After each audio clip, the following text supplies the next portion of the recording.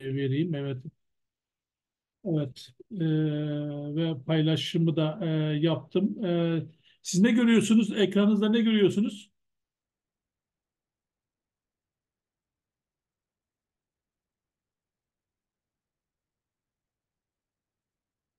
Ekranda ne görüyorsunuz arkadaşlar?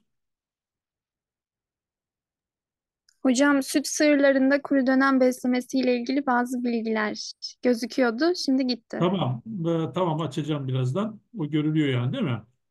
Evet. Hemen ee, tekrar görülüyor değil mi şimdi? Evet hocam. Tamam. Peki tekrar hoş geldiniz. Dediğim gibi kayıt altına aldım. Kaydediliyor şu anda. Ee, arkadaşlar bugün sizde e, kuru dönem yansıda da görüldüğü gibi kuru dönem geçen hafta başlamıştık kısmen e, konuşmaya başlamıştık. Kuru dönem beslemesiyle ilgili bazı e, bilgileri sizinle paylaşacağım. E, yine beraber e, sohbet havası e, sohbet havasında. Şimdi e, tabii biliyorsunuz e, kuru dönem süt sığırlarının beslenmesinde en önemli, bütün dönemler önemli muhakkak da özellikle kuru dönem beslemesi e, ve birçok konu e, açısından e, önem taşıyor. O yüzden de üzerinde durulması gereken bir e, dönem, e, üzerinde durulması gereken bir konu.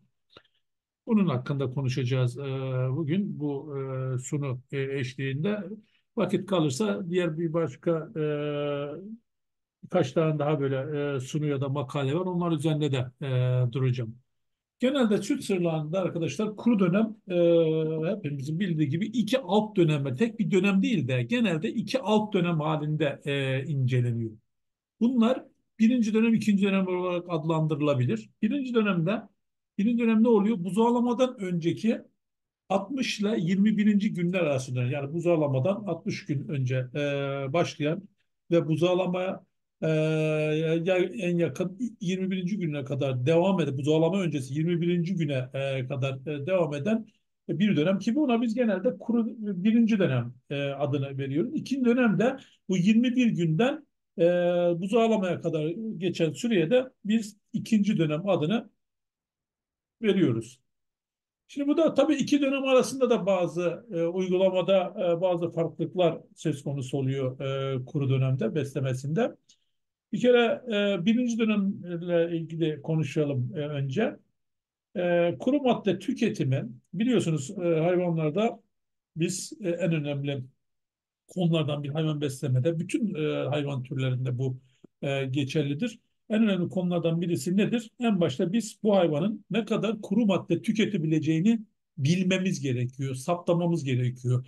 Yani bu hayvanın e, hangi hayvan türü üzerinde duruyorsak kuru madde tüketim kapasitesini belirlememiz e, gerekiyor. Bu da genelde nasıl e, ifade edilir? Canlı yüzdesi olarak ifade edilir. İşte bu kuru birinci dönemde kuru madde, dikkat edin kuru madde diyorum. E, yem tüketimi demiyorum. Kuru madde tüketimi başka, yem tüketimi e, başka e, biliyorsunuz. E, kuru madde tüketimi canlıların yüzde ikisiyle 2.2'si düzeyinde olmalıdır diye bir genel bir öneri vardır. Birinci dönem için bahsediyorum. Eğer basit bir e, hesap yaparsanız işte 600 kilogram canlılarında bir süt ineğinin kuru madde tüketimi bu hesapla yaklaşık işte 13 kilogram günlük 13 kilogram olarak e, kabul edilmektedir. Bu hesapla. Şimdi Peki başka neler söyleyebiliriz? Buradaki inekler yine birinci dönem için konuşuyoruz. Şu anda birinci dönem için konuşuyoruz arkadaşlar. Kuru birinci dönem için konuşuyoruz.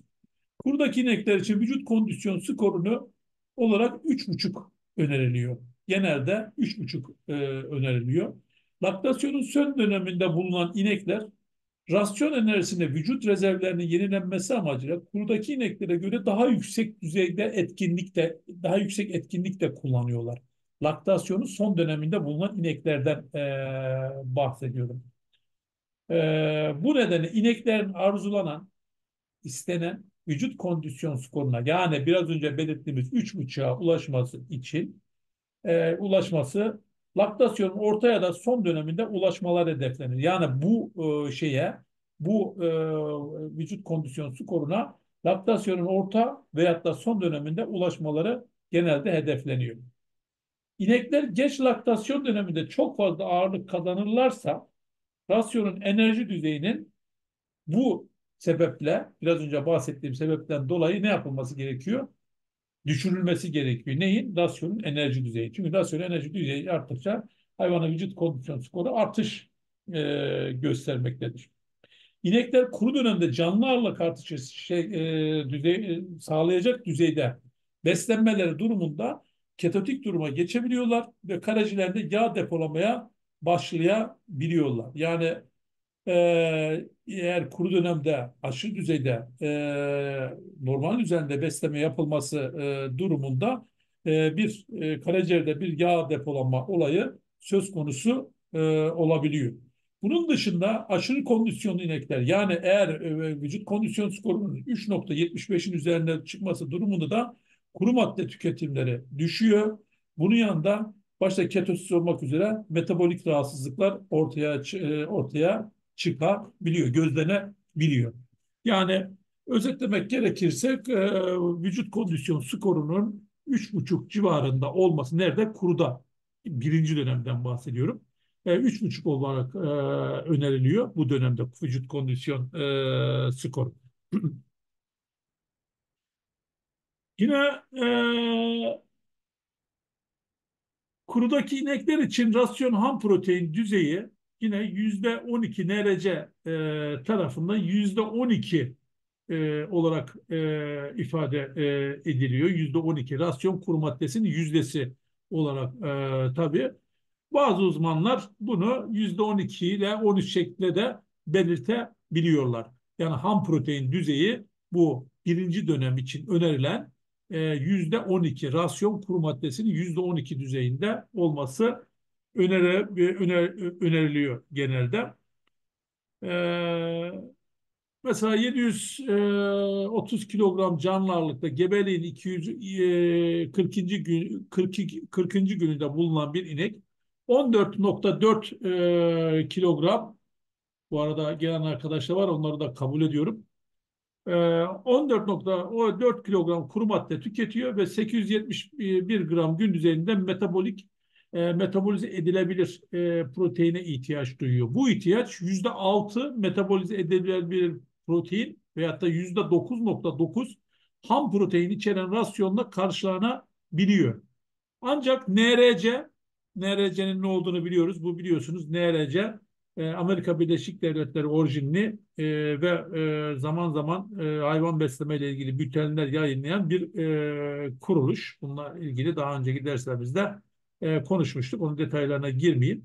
Bunun bir e, bunun bildirişlerine göre kayıpla bu e, kayıplar göz önüne alarak rasyonda bulunması gereken ham protein düzeyi bu kurum tarafından ne olarak kuruluş tarafından ne olarak öneriliyor? Ham protein düzeyi yüzde 12 olarak e, öneriliyor. Ne zaman? Kurudaki kurunu e, birinci dönem, kuru birinci dönemdeki protein ihtiyacından bahsediyorum. Ham protein bulunması gereken ham protein düzeyinden bahsediyorum rasyondan.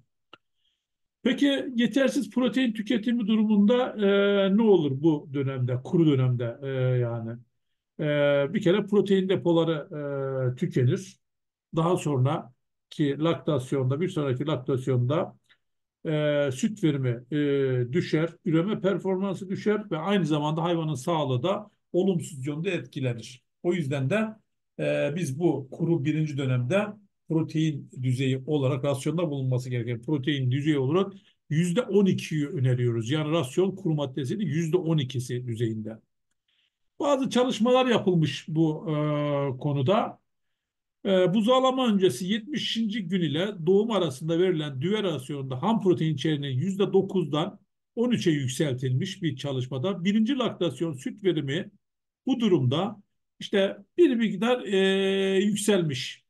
Yani burada gördüğü gibi 10.800 kilogramdan 11.700 yani bir miktar yükselme var. Ne ne durumda niye yükselmiş?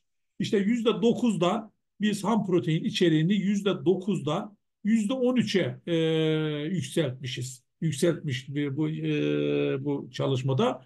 E, ne zaman? Buzağlama öncesi 70. günde 70. günde doğum arasında verilen e, rasyonda. Eğer siz %9'dan %13'e çıkartır, çıkartırsanız bir sonraki laktasyonda e, süt verimini e, artırabiliyorsunuz. E, tabii kuru birinci dönemde bulunan ineklere mısır silajı ve düşük kaliteli kuru ot yani protein içeriği düşük olan e, kuru ot veya çayır otu verilmesi durumunda ham protein düzeyi 8 ile 10 düzeyinde kalmaktadır. Yani yetersiz e, kalmaktadır. Kısaca bunu da bu e, özetlersek, e, bu e, yansıyı da özetlersek biz ne diyoruz? E, şeyde kuruda e, ineklerde ham protein düzeyinin yüzde 12 e, olması, birinci dönem için bahsediyorum. Yüzde 12 olması gerektiğini söylüyoruz. Kuru birinci dönemde yine kuru birinci dönemle ilgili e, konuşuyoruz. E, genelde biliyorsunuz e, arkadaşlar e, hepimiz biliyoruz buradaki e, Kaba yemlerde düzeltiyorum ruminant rasyonları deyince bizim aklımıza ne geliyor? Kaba yemler geliyor, kesif yemler e, geliyor. Ve bunlarda da bir, bazı beklentilerimiz var. Ben şöyle kısaca özetleyeyim bunu çok derine girmeden. E, kesif yemlerden beklentimiz farklı, kaba yemlerden beklentimiz farklı. Ama ortak bir beklentimiz var. Bunlarla biz ne sağlıyoruz hayvana? Besin maddeleri sağlıyoruz. Ne sağlıyoruz? Ham protein, ham selüloz, ham yağ gibi besin maddelerini sağlıyoruz. Ama bizim kabayemlerden bir başka beklentimiz daha var hepimizin bildiği gibi. Kabayemlerden bir beklentimiz de nedir? Sindirim sistemini çalıştırmaları, bir e, dolgunluk sağlamaları sindirim e, sisteminde, özellikle rumende ya da diğer sindirim sisteminin diğer e, kısımlarında e, kabayemler e, kabayemlere bu yönden de e, ihtiyaç e, duyuyoruz. O yüzden de kabayemlerin bazı niteliklere sahip olması gerekiyor bu şartı sağlayabilmesi için. Bunun başında da ne geliyor? Partikül büyüklüğü geliyor. Çok önemli bir konu. Kaba yemlerin kaba yemlerde partikül büyüklüğü. Bu tabii kesif yemler için de e, söylenebilir ama özellikle kaba yemlerde partikül büyüklüğü çok önemli. Dediğim gibi e, bir ne yapıyor? Sindirim sistemini çalıştırıyor. Ne yapıyor? E, salya üretimini teşvik e, ediyor kaba yemler. Dolayısıyla da rumende bir tamponlama olayını e, sağlıyor. O yüzden de partikül büyüklüğünün uygun olması gerekiyor kaba yemlerde. Ve genelde birinci dönemde de kuru birinci dönemde de büyük partiküllü, büyük partiküllü kaba yemlerin e, verilmesi e, öneriliyor. Biraz önce dediğim gibi çünkü bu kaba yemleri verdiğinizde siz rumen doluluğunu sağlıyorsunuz. Rumen doluluğu önemli bir e, olay. Aynı zamanda rumen duvarı kas gelişimine uyarıyorsunuz. Şimdi rumenin biz gelişmesini isteriz biliyorsunuz. E, buzağlar e, doğduklarında e, şey anlamda gerçek anlamda bir ruminant değildir. E, bir e, burada abu masumları bunların büyüktür. E, ama e, rumenleri e, daha gelişmemiştir. Bunun gelişimi e, için bazı uygulamalara gerek duyulmaktadır. E, işte kesif yemler de bu açıdan e, e, önemli. Kesif yemler de bu açıdan e, önemli. E, kesif yemlerin bu rumen gelişimi açısından önemi ve fonksiyonları farklı. Kaba yemlerinki daha e, farklı. Kesif yemler daha çok e, şey diyebiliriz bu papilaların gelişimiyle alakalıdır e, diyebiliriz. Ama kaba yemler özellikle de rumenin kas yapısının, kas tabakasının gelişmesi açısından çünkü çalıştırdığı için kaba yemler rumeni çalıştırdığı için kas tabakasının gelişiminde e, rol e, oynar. Yani kısaca kas gelişimini uyarır kaba yemler. Ve yüksek tane yem içerikli rasyonla besleme döneminde yani kuru birinci dönemde rumen duvarında oluşan rumen duvar lezyonlarının kapatılması konusunda da yardımcı oluyor. Neler? Bu kaba yemler. E, bu ise kuru dönemde buzağlama sonrası dönemde kuru madde düzeltiyorum kuru dönem değil buzağlama sonrası dönemde kuru madde tüketimini ve verimini artırıyor. Bu da işte birinci dönemde gerçekten de partikül büyüklüğü yeterli olan kaba yemlerce zengin e, yemlerin verilmesinin önemini ortaya e, koyuyor. Bakın ne kadar faydası e, var. E, bunun yanında birinci dönemde yüksek kaba yem içerikli rasyonun verilmesi ki yüksek kaba yem içerikli rasyon ne demek? Aynı zamanda düşük enerjili e, yem demek. Ee, ineklerin yağlanmasının önüne de geçiliyor. Bir faydası da bu. Biz ineklerin yağlanmasını istemiyoruz e, biliyorsunuz. E, uzağlamadan 21 gün önce mineral içeriği dengelenmiş kuru dönem 2 rasyonu verilmesi durumunda e, ikinci dönem kuru dönem ikinci kuru dönem rasyonundan bahsediyoruz. Kuru dönem bir, bir rasyonunun sodyum ve potasyum e, içeriği süt ummasının önlenmesi konusunda kritik önem taşımıyor. Yani eğer siz e, hani iki dönem ayırdık ya kuru döneme. Birinci dönem, ikinci dönem diye. İkinci dönem ne zaman başlıyordu? Buzağlamaya 21 gün önce e, başlıyordu. Bu e, bu buzağlamaya e, 21 ön, bu, yani 21 gün önce eğer siz dengeli dengeli bir mineral içeriğine sahip olan bir rasyon verirseniz yani bu, buna kuru dönem 2 rasyonu diyoruz. Kuru dönem bir rasyonunun e, bir önemi biraz daha azalıyor. Süt ummasının anlanması da, e, açısından. Yani iki dönemde de biz e, ne yapmamız gerekiyor? Dengeli bir e, mineral kompozisyona sahip olan rasyonu vermemiz gerekiyor. E, tabii mısır silajı gibi bol tane içeren kaba yemlerin kullanım e, düzeyi yani eğer bol taneli bir mısır silajı e, verilmesi durumunda bunun bu mısır silajının rasyon kuru maddesinin yüzde 32 rasyon kuru maddesinden bahsediyorum. Rasyon kuru maddesinin yüzde 30 ile 40'ını aşmayacak şekilde verilmesi gerekiyor. Çünkü bu durumda yine ne yapar? Yağlanmaya neden olabilir diyoruz. Kuru birinci dönemde yine mineral ve vitaminlerle ilgili konuşacak e, olursak e, İneklerin vitamin genel anlamda e, şöyle iddia ediliyor. Vitamin ve mineral ihtiyaçlarının karşılanmaması, karşılanmaması durumunda buzağlama dönemine herhangi bir etkisi gözlenmediği ileri sürülüyor. Kuru birinci dönemden bahsediyorum. Plazentanın atılmaması ve meme ödemlerinin önlenmesi açısından iz element ve vitamin E ihtiyaçlarının karşılanması önem taşıyor. Bunu zaten biliyoruz. Yine bazı yetiştiriciler mineral ve vitaminleri serbest seçim tarzıyla vermekte diyor, veriyorlar. Bu bir doğru uygulama değil. En doğru uygulama vitamin mineral kompleksinin e, toplam karma rasyonla TMR dediğimiz toplam karma rasyonla karıştırılarak verilmesi şeklinde olduğu bildiriliyor.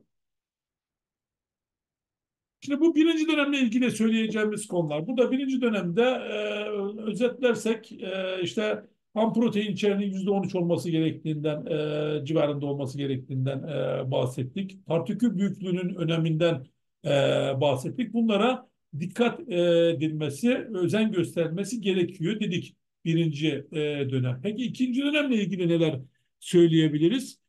E, bu e, ikinci dönem biraz önce dediğim gibi e, doğuma 21 gün kala başlayan e, dönem. Buna kuru ikinci dönem e, diyoruz. Burada kullanılan rasyon da kuru ikinci dönem rasyonu denilebilir. E, bu dönemde uygulanan besleme rejimi, besleme yöntemi laktasyon verimini önemli düzeyde etkiliyor. Yapılan çalışmalar bunu e, göstermiş. Kuru ikinci dönemde kuru madde tüketimi azalıyor, besin madde ihtiyaçları artış gösteriyor. Yani bu kuru madde tüketiminde bir artış e, düzeltiyorum azalma var, ama besin madde ihtiyaçları bunun tersine ne yapıyor? Artış gösteriyor. Bu dönemde o neden e, bu dönemde o yüzden ne olması gerekiyor? Mutlaka rasyonun besin madde içeriğinin artırılması gerekiyor. Besin madde ihtiyacının karşılanabilmesi açısından. Çünkü kuru madde tüketimi düşmüş. O zaman ne yapalım? Yoğunluğunu artırmamız gerekiyor e, rasyonun. Özellikle mineral madde dengesi bu açıdan ne yapıyor? önem e, taşıyor. Peki kuru dönem e, iki rasyonunun kullanılmasının avantajları e, nelerdir? Bir kere tabii mineral içeriğini biz dengelemişsek ki öyle yapmamız gerekiyor. Dengeli bir mineral içeriğine sahip olması e, durumunda metabolik e, problemlerin ne yapıyor? Metabolik problemlerin önüne e, e, geçiliyor dengel bir mineral içeriğine sahip olması durumunda. Enerji konsantrasyonu yüksek olduğunda klinik ve subklinik ketosis oranı e, azalıyor. Burada enerji konsantrasyonu genelde biraz da yüksek e, oluyor kuru iki dönem rasyonunda. E, kuru dönemde ama şöyle bir durum var. Eğer siz kuru dönemde e, bazı işletmede yapıldığı gibi tek rasyon kullanırsanız yani tek e, dönem olarak düşünürseniz kır dönemi burada olduğu gibi birinci dönem ikinci dönem değil de tek dönem olarak düşünürseniz tek rasyon kullanacaksınız. Enerji içeriklerini artıramayacaksınız bu durumda. Ne zaman? İkinci dönem. İkinci dönem biraz enerji art, enerjini içeriğini artırmamız e, gerekiyor. Bu çünkü niye artırır? Çünkü bu durumda yani artırmanız e, durumunda kuru birinci dönemde bulunan ineklerin enerji ihtiyaçları düşük olduğundan aşırı yağlanma söz konusu olacak. Yani kuru birinci dönemde kuru birinci e, kuru birinci dönem diyelim ona ineklerin enerji ihtiyaçları düşük. Ama siz ona e, bütün kuru dönem boyunca aynı enerjiye sahip olan e, enerji şeyine sahip olan rasyon veriyorsunuz.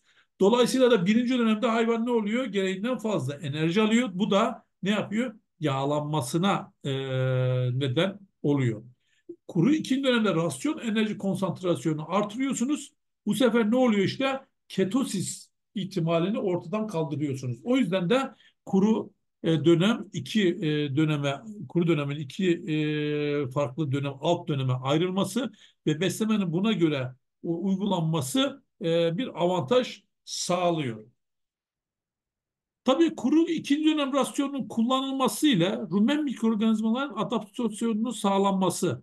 Yani bu önemli bir olay biliyorsunuz. Çünkü kuru dönemde e, rumen biz rumen e, mikroorganizmaların adaptasyonu e, deyince önemli olduğunu biliyoruz değil mi? Bu çok e, önemli. Çünkü rumen mikroorganizmaları yapacağınız sizin rasyon değişiminden e, doğrudan etkilenmekte e, ve olumlu veya olumsuz yönde e, etkilenmektedir. O yüzden de bir adaptasyon e, süresi e, gerekli. İşte bu kuru ikinci dönem rasyonunun kullanılması e, durumunda rumen mikroorganizmaların adaptasyon e, düzeyinin artırılması e, sağlanmış oluyor. Metabolik hastalıklar ortadan kaldırılıyor e, ve yem tüketim düzeyi de e, yükseltiliyor. E, dolayısıyla buzağlama sonrasında da yem tüketimi artış gösterecek. Yani buradaki artışa bağlı olarak bu e, daha doğrusu bu e, saydığımız olumlu durumlara bağlı olarak buzağlama sonrasında yem tüketimi artış gösterecek ve sonuç olarak da biz hani buzağlamadan sonra hemen ilk laktasyon ilk döneminde en önemli problemimiz nedir? Negatif enerji dengesi değil mi? İşte bu negatif enerji dengesinden kaynaklanan bazı problemler de ortadan kalkacak. Yani kuru dönem ikinci rasyonu kuru dönem ikinci rasyonu bu kadar önemli.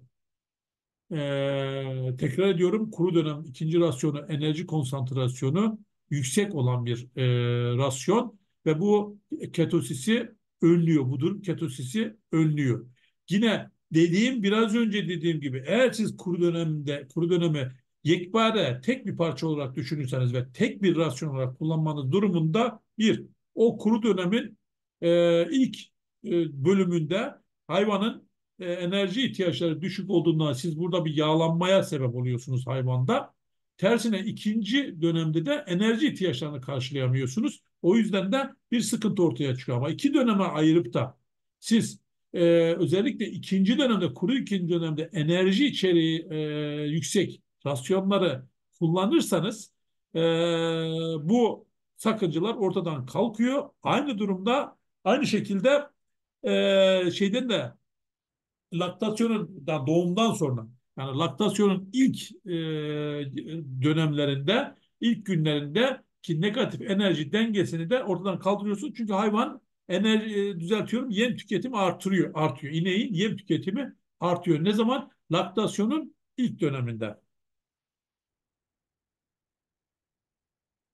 Şimdi e, tabii yem tüketimiyle ilgili konuşacak olursak yine kuru dönem e, kuru ikinci dönemle ilgili e, konuşuyoruz. Sağmal süt sıvılarında kuru madde tüketimi buzağlama öncesindeki son haftada kayda değer ölçüde düşüyor. Buzağlamadan önceki son hafta.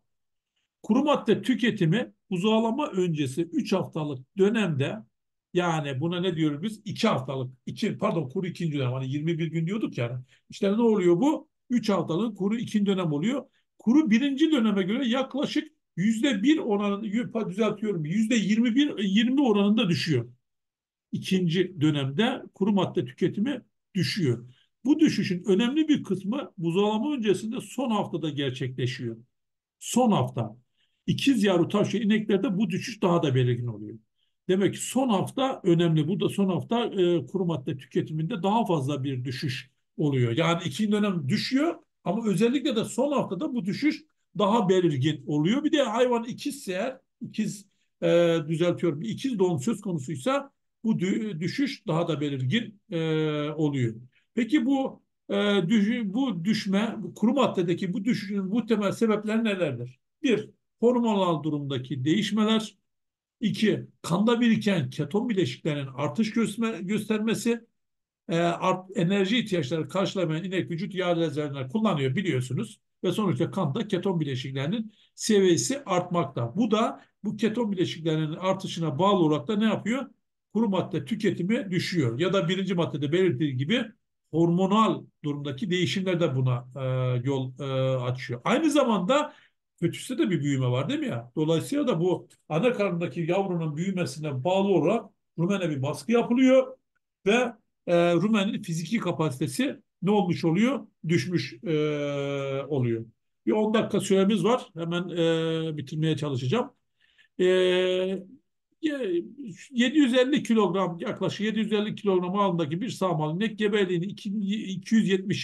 gününde 270. günde ortalama 14 kilogram 279. günde ise 10 kilogram kuru madde tüketiyor. Yaklaşık rakamlar e, bunlar. Yani gebeliğin son günlerinden bahsediyorum. 13.7'den 10.1'e düşüyor. 209 günlük süre içerisinde o bir haftalık sürenin ne kadar önemli olduğunu gösteren rakamlar bunlar aslında. Evet. Kuru dönemde bulunan Holstein ırkı bir inek, sağmal inek e, şey canlı ağırlığının yaklaşık yüzde 1.75'i düzeyinde kuru madde tüketebiliyor. Yani e, ikinci dönemdeki bir inekten e, bahsediyorum. Yaklaşık 10 kilogram, 10,5 kilogram e, civarında. E, işte bu bu dönemde kuru madde tüketiminin artırılması için de e, bütün tedbirlerin alınması gerekiyor. Bir önce biraz önce dediğim sebeplerden e, dolayı. Mesela bunu sağlamak için de ne yapılması gerekiyor? Kuru ikinci dönemde su tüketimini artırın e, deniyor ki yem tüketimi artsın. Bu biraz önce dediğim sakıncalar ortadan e, kalksın. Kuru ikinci dönemde düşük düzeyde kuru madde tüketen ineklerin kuru madde tüketimleri buzağlama sonrası 3 haftalık dönemde de buzağlama sonrası 3 haftalık dönemde düşük, e, düşük olmakta. Bu da neyi sağlıyor arkadaşlar? Buzağlama sonrasında bizim en büyük sıkıntımız neydi? Negatif enerji dengesiydi. Negatif enerji dengesinin sebebi neydi? Kuru madde tüketiminin düşük olmasıydı. Süt verimi yükseliyor, kuru madde tüketimi düşük. Dolayısıyla bu durumda bakın bu durumda bu e, sıkıntı daha da e, büyüyor. Siz eğer kuru ikinci dönemde kuru madde tüketimini artıramazsanız bu neye yansıyor doğrudan? Laktasyon sonrasındaki birinci dönem yani erken dönemdeki kuru madde tüketimine yansıyor. Bu da sıkıntıyı daha da büyütüyor. O yüzden artırmamız gerekiyor. Enerji Tabii bu e, kuru iklimden de yine enerjiyle e, ilgili kuru madde tüketimi azalıyor. Yavrunun ve memenin büyüme oranı artış gösterdiğinde toplam besin madde ihtiyacı artış gösteriyor. Kuru ikinci dönemde. E, işte yine e, NRC tarafından ergin süt ineklerinin yaşama bayı ve fetal e, gelişim için enerji ihtiyaçları yaklaşık 1.25 megakalori olarak e, bildiriliyor bu enerji düzeyinin buzağlama öncesindeki son hafta için yeterli olmadığı neden? Çünkü kuru madde tüketimi düşük e, kabul ediliyor. Aynı zamanda ilkine doğuran düğelerinde enerji ihtiyaçlarının yüksek olduğundan bahsediliyor. Bütün bu nedenlerden dolayı kuru iki dönem rasyonları genelde 1.54 megakalori enerji içecek şekilde hazırlanıyor. Yüksek derecede sindirilebilen lif içerikli kaba emler kuru dönemde bulunan ineklerin enerji ihtiyaçlarının karşılanmasında yeterli olabiliyorlar. Kuru iklim dönemindeki e, enerji ihtiyaçlarından bahsediyorum. Evet, e, bu da başka neler e, söyleyebiliriz? Mesela buzağlama öncesi dönemde yüksek enerjili ve proteinli rasyonu kullanılması durumunda vücut rezervlerinin kullanılma düzeyi düşme gösteriyor vücut rezervlerini. Bu da istenen bir e, durum e, zaten. Tabii e, ikinci e, yine ikinci dönemle ilgili bahsediyoruz. Bir de lif olmayan karbonhidratlar konusu e, var. Burada kuru dönem rasyonlarında lif olmayan karbon, lif olmayan e, karbonhidratlara da ihtiyaç e, duyulmaktadır. Neden e, ihtiyaç duyuluyor? Bir, kuru ikinci dönem rasyonları biraz önce bahsettik. Yüksek düzeyde enerji içeriyor. Bu düzeyde enerji ancak lif olmayan karbonhidratlarla sağlanabiliyor. O yüzden de lif olmayan karbonhidratlara bizim ihtiyacımız e, oluyor. Rumende lif olmayan karbonhidrat fermentasyonu sonucunda ne üretiliyor? Propiyonik asit üretiliyor. Pro genelde e, lif karbonhidratlar mesela e, lif olmayan karbonhidratlar deyince aklımıza e, nişasta geliyor değil mi? Nişastanın fermentasyonu sonucunda genelde ne üretiliyor şeyde? Propiyonik asit e, üretiliyor. Şimdi burada e, bu propiyonik asitle ne yapıyor? Rumen papillalarının absorpsiyondan sorumlu olan rumen papillalarının gelişimini e, sağlıyor. Bu özellikle de bu papilalar neyi absorbe ediyor? En fazla uçucu yağ asitlerini absorbe e, ediliyor, ediyor. Uçucu yağ asitleri hayvanın enerji ihtiyaçlarının büyük kısmını karşılıyor ve propiyonik asit ketozin önüne geçilmesine rol oynuyor. Ayrıca uçucu yağ asitlerinin absorpsiyonda rumenden uzaklaştırılması asidozi de asidozu da önlüyor arkadaşlar. Sonuçta bunlar zayıf asitte olsalar bir asitler fazla birikmesi sonunda asidozda yol açıyorlar. Çünkü bakın e, bu lif olmayan karbonhidratların faydaları bunlar işte. Kuru ikinci dönem rasyonlarının yüksek düzeyde lif olmayan karbonhidrat içermeleri rumen mikroorganizmaların laktasyonun ilk döneminde kullanılacak yüksek lif olmayan karbonhidrat içerikli rasyonların adaptasyonunu da kolaylaştırıyor. Yani çünkü bir geçiş dönemi oluyor, bir e, adaptasyon e, da sağlamış oluyor. Uzağlama öncesi dönemde yani kuru ikinci dönem e, lif olmayan karbonhidratlar fermente edici mikroorganizmaların çoğalma oranının artış göstermesi ve doğum sonrası dönemde asidozis e, görülme ihtimalini düşürdüğü gibi yemden kesilme durumunda önlüyor. Lif olmayan karbonhidratlar bu açıdan da önem e, taşıyor. Rumende lif olmayan karbonhidrat fermentasyonu sonucunda üretilen propiyonik asit vücut yağlarının enerji üretilmesi ve dolayısıyla ketosisin önlenmesinde rol oynuyor. O yüzden de biz ne diyoruz? Mutlaka kuru dönem rasyonlarında lif olmayan karbonhidratlara ihtiyaç duyuluyor diyoruz. Kuru ikinci dönemde rasyondaki lif olmayan karbonhidrat düzeyinin kuru maddenin yüzde 32 ile 33'ü düzeylerinde olması genelde öneriliyor. Normal bir rasyonda bu değer 3,5-4,5 kilogram daha yem kullanılması anlamına geliyor. Bu durumda yeti, yetiyor yani. Rasyonda hızlı fermente olan e, lif olmayan karbonhidrat kaynakları şekerler ve yüksek nem içerikli mısır e, gibi bu lif olmayan e, karbonhidrat kaynakları ve yavaş fermente olan mısır unu e, var. Lif olmayan karbonhidrat kaynakları birlikte kullanılıyor. Bu kullanılması durumda rumen bakteri sayısı ve rumen mikrobiyal protein üretiminin artışına yol açabiliyor. Bakın hızlı fermente olan e, lif olmayan karbonhidrat kaynaklarıyla hızlı yavaş fermente olan e, mısır unu gibi fermente lif olmayan karbonhidrat kaynaklarını birlikte kullanmanız durumunda rumen mikrobiyal protein üretimini artırıyorsunuz. Rumen bakteri sayısını artıyorsunuz. Bu kadar önemli ve lif olmayan karbonhidrat e, düzeyi kuru ikinci dönemde rasyon kuru maddesinin yüzde 33'ü e, civarında olması e, öneriliyor. Bu da neyle sağlanıyor? 3,5-4,5 kilogram bir e, neyle sağlanıyor? Daneyem kullanılmasıyla mümkün oluyor. Yine kuruduğu ikinci dönem rasyonlarında kalsiyum propionat e, kullanmanız durumunda kuru maddenin kuru maddede yaklaşık işte 110 gram e, civarında bir şey kullanmanız durumunda kalsiyum propionat kullanmanız durumunda ketosisin önüne geçebiliyorsunuz. Şimdi e, tabii etkin lif e, olayı var. Arkadaşlar bu e, tabii e, bir kaç e, şeyimiz var. E, bence bunu e, şey yapalım. ikinci e, dersimize e, bırakalım. E, ikinci dönemde, ikinci derste, diğer derste e, çünkü e, süremiz e, bitiyor yavaş yavaş. İkinci e, derste biz e, bu e, ikinci e, dönemden itibaren, kuru ikinci dönemden e, ki bu kaldığımız yerden devam edeceğiz. Şöyle yapacağım arkadaşlar. Biraz sonra e, şey bitiyor, e, oturum e, bitiyor, e, süre bitiyor. Ben e, bir başka e, oturum açacağım ve tekrar e, paylaşacağım. E, o yüzden bir tabii bir 10 dakika ara vermemiz e, gerekiyor. 10 dakika sonra e, tekrar buluşmak üzere. Şimdilik e, hepinize e, iyi akşamlar diliyorum. 10 dakika sonra e, ben tekrar bir, şey göndereceğim size. Link göndereceğim. Katılımınız için teşekkür ederim. 10 dakika sonra bekliyorum.